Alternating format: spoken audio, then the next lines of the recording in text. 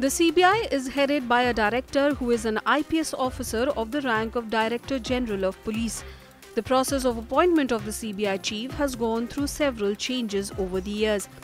Before the Lokpal Act was enacted in 2014, the appointment was made on the basis of the Delhi Special Police Establishment Act of 1946. The DSPE Act was revised in 2003 on the Supreme Court's recommendation so as to make the process of appointing the agency's director transparent. Under the DSPE Act, the central government formed a commission headed by the Chief Vigilance Commissioner. The committee had members from the Central Vigilance Commission, secretaries from the Home Ministry, and the Ministry of Personnel and Public Grievances.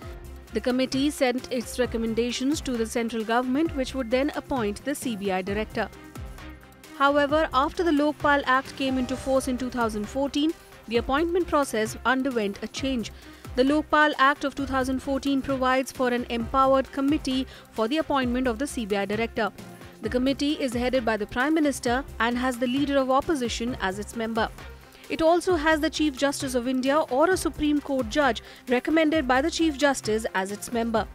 पहले director का selection का process था कि ये जो CVC हैं और दो वीसी होते हैं और ये सेक्रेटरी पर्सनल और होम सेक्रेटरी पाँच लोग बैठ के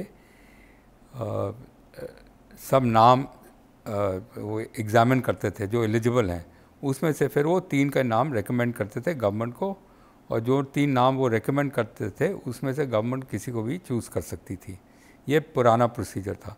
पर जब से ये लोकपाल एक्ट आया है तो अब सीबीआई का डायरेक्टर का selection PM leader of opposition और चीफ जस्टिस करते हैं। The process begins in the Home Ministry that prepares a list of IPS officers eligible for the post.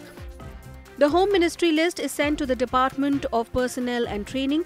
A final list is prepared on the basis of seniority, integrity, and experience in investigating anti corruption cases. The list then goes to the committee headed by the Prime Minister. The government appoints the director of the Central Bureau of Investigation. Director as head of the organization, सारे के सारे power है उनके पास अब unlimited powers तो किसी के पास नहीं है हमेशा चेक एंड बैलेंस रहता है सरकारी काम में। डायरेक्टर के पावर पर सीबीसी का भी निगरानी रहता है। और फिर कोर्ट के तभी प्रति भी दायित्व है सरकार डायरेक्टर सीबीआई का या सीबीआई का, लेकिन सीबीआई के हेड है, ऑल इन ऑल है वो।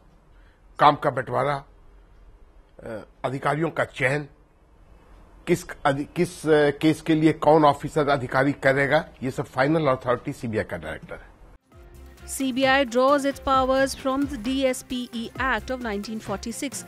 The centre may extend to any area besides Union territories the powers and jurisdiction of members of the CBI for investigation.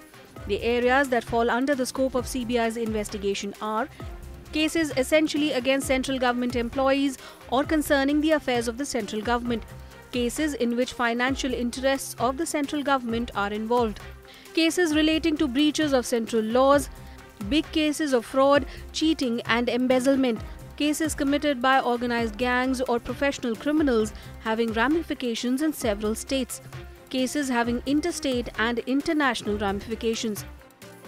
Bureau Report, Rajya Sabha TV.